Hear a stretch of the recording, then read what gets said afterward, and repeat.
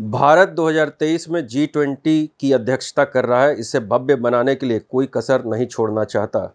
इसी कड़ी में भारत कश्मीर के श्रीनगर में 22 से 24 मई तक जी ट्वेंटी की बैठक का आयोजन करने जा रहा है। भारत के इस आयोजन से चीन सरकार के अधिकारियों में खलबली मची हुई है। चीन के विदेश मंत्रालय के प्रवक्ता वांग वेनविन ने कहा कि चीन विभाजित क्षेत्र पर किसी भी प्रकार की जी ट्वेंटी बैठक में आयोजित करने का दृढ़ता से विरोध करता है। हम ऐसी बैठकों में शामिल नहीं होंगे।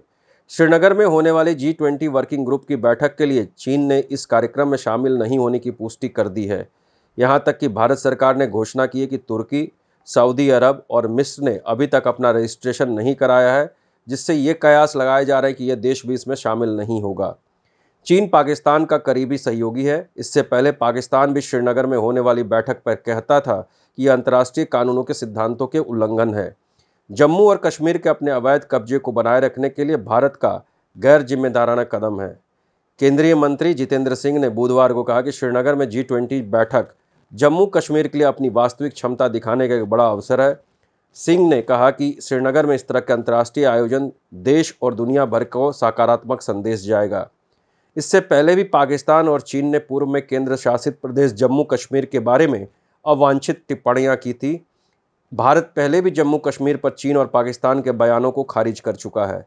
भारत और चीन के बीच तीन साल से पूर्वी लद्दाख में गतिरोध है।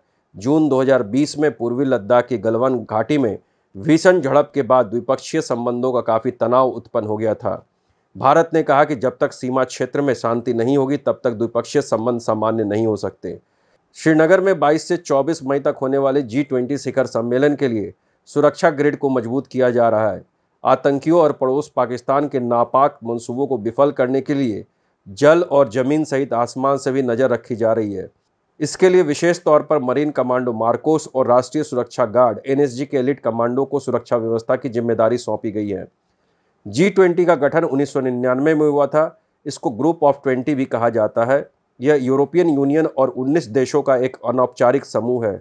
जी ट्वेंटी शिखर सम्मेलन में इसके नेता हर साल जुड़ते हैं। और वैश्विक अर्थव्यवस्था को बढ़ाने पर चर्चा करते हैं।